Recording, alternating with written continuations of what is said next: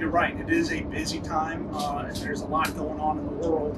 Uh, the significance of this exercise is um, we have three like-minded countries, three like-minded navies that believe in peace and security and stability in the Western Pacific.